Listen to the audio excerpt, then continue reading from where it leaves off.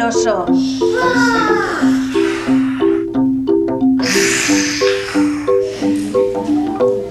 ¿Cuántos añitos tenéis? Yo tres.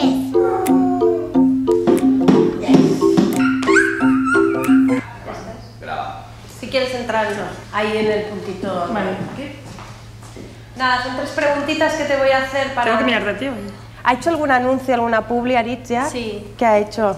Varias cositas de televisión y de catálogos. Para que los niños se vayan ambientando al equipo. Es probable que nos lo tengamos que llevar un par de días antes. Dos días sin nosotros. Sí, exacto. Siguiendo una técnica que tenemos, cabe la posibilidad de que el día antes del rodaje no les demos de comer.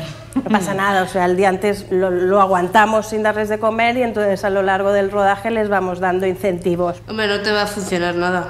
Porque no me Porque sin comer estará más enfadada y te hará menos caso. Es un niño, tiene que comer. Alguna vez lo que hacemos es igual quitarle los, o sea, sacar los dientes, los incisivos de los niños. Es más que nada para esto, para, para ahorrarnos posibles problemas.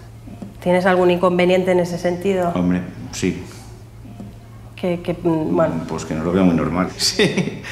No, no, no, no, no, no estoy de acuerdo tampoco, obviamente. Que le saques un diente a mi hijo por hacer publicidad, lo siento. Yo me imagino que todas estas técnicas las habéis probado antes vosotros, ¿no? si tu hijo está muy sobreactuado o algo, hay veces que utilizamos como descargas eléctricas. Descargas eléctricas a los niños. De verdad, es para coger y denunciar. Me parece al- alucinante lo que estáis diciendo. Hombre, yo he hecho publicidad y a mí no me han tratado nunca así.